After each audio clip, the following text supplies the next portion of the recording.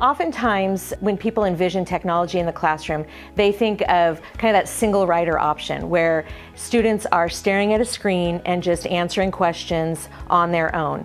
And we like to use technology in more effective ways with what we're doing with our students. So we will often use the technology part uh, just in small snippets. A student might be learning about something in the Revolutionary War, let's say, and someone might watch a video Another student might read a timeline. Another student might watch a little mini documentary. And then they take some notes on that, whether it be paper, pencil, or on the screen.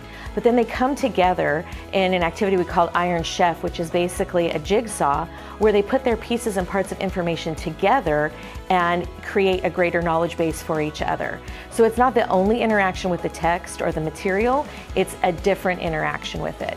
And so the tech is used very intentionally and purposefully to bring about a better learning uh, and engagement for students. At Thurston, we have block periods, and when I'm designing lessons for those block periods, I'm really mindful of how often the kids are on their computer.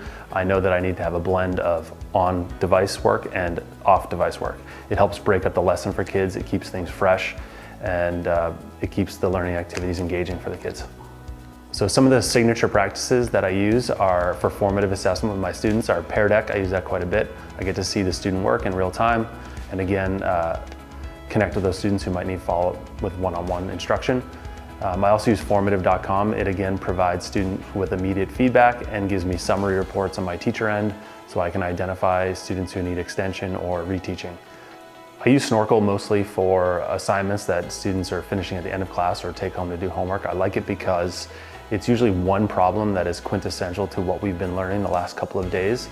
And also it makes the students show all of their work on the screen and then also talk to the computer, which the AI then analyzes. So we're getting not only this written work from students, we're getting this verbal conversation about the topic they're working on. Everybody's getting different questions, and so in turn their feedback is different. So it provides them with that customized one-on-one -on -one feedback specific to the problem they were working on. Areas in my classroom where I don't like to use tech are when students are exploring new concepts or trying to extend their thinking. I utilize my whiteboard walls in my classroom so students can work in small groups and use the vertical non-permanent surfaces to explore and try things and make errors. And that also allows me to connect with them uh, one-on-one -on, -one on maybe a non-traditional surface. The science department uses technology really intentionally in that we have a host of things that we do with students in order to have them interact with each other, collect data, learn about the science. We do things like online simulations where students can see what's happening on a molecular level, which you can't see in person. We use Pear Deck to collect formative information and to use it to help them foster discussions about the science that they're learning. So there's a lot of group work that goes on with the technology.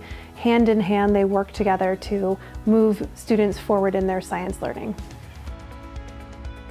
The cool thing about technology is that it's a lot more guided than the hands-on manipulatives that we have. So the students are able to do the really guided work on the computer simulation and then they're able to use things like molecular model kits and build the molecules in such a way that they understand because they've already done the online simulation of those molecular model builds. The technology is aiding the students being able to understand on a deeper level what is going on in a chemical reaction that you otherwise wouldn't be able to see. You could write a chemical reaction, but that's not the same thing as seeing the reaction happen on that molecular level. And without technology, there would be no way to see that. After they've learned stuff through the simulations or through the graphing that they've done or the data collection that they have done, they'll do group uh, modeling on a whiteboard. So we do a lot of low tech work as well the technology supports the low tech work that we're able to do with students.